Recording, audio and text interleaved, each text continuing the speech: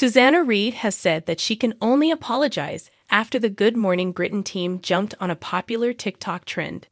The trend has been various companies using Gen Z terminology to describe themselves.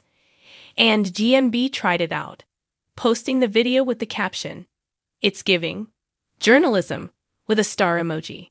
In the clip, Ed Balls says, Hey bestie, with Susanna adding, End your brat summer with us at Good Morning Britain.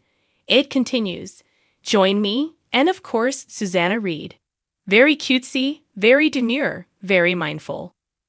They then go through the team, with Ranvir Singh having main character energy, meteorologist Laura Tobin in her rainy era, and Richard Arnold having unspoken rizz.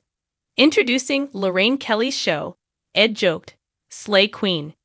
Susanna continued, News panel. It hits different. Interviewing government ministers. No cap. Looking for a lit morning? This is the place to be. Fans were loving the post, with one writing, I love Ed. It's the Laura in her rainy era for me.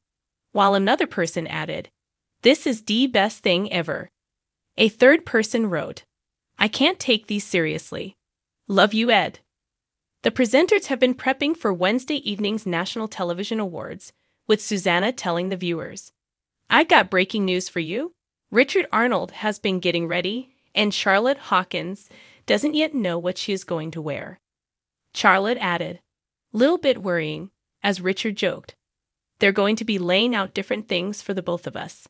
Charlotte quipped, Yes, let's hope they don't get us mixed up. Susanna Reid recently won Network Presenter of the Year for GMB at the RTS, saying, I can't believe it. I honestly thought I'd been given the hosting job as a consolation prize. It is one of the pinnacles of your career to win RTS award, and I feel overwhelmed to be holding it in my hands. The thing about breakfast television is that you're literally in people's living rooms and bedrooms and kitchens. It's a unique place in people's broadcasting habits. You have two hours of prep. You think you have an idea of what is on the agenda, then two minutes later, all hell could be breaking loose. It's the best job in journalism.